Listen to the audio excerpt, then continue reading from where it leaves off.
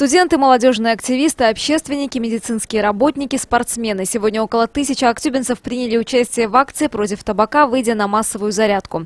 Таким образом, они пытались привлечь внимание к проблеме табакокурения. Ведь от заболеваний, вызванных курением, в Казахстане ежегодно умирают до десятков тысяч человек. Мероприятие посетил глава областного управления здравоохранения Осет Калиев, который подчеркнул важность пропаганды здорового образа жизни. Цель проведения таких широкомасштабных акций – это привлечь внимание населения о актуальности данной проблемы, а довести до каждого жителя, что курение вредит здоровью и она способствует развитию тяжелых заболеваний. Ежегодно глобальная табачная эпидемия уносит жизни более 7 миллионов человек, из которых около 900 тысяч не являются курильщиками и умирают в результате вдыхания вторичного табачного дыма.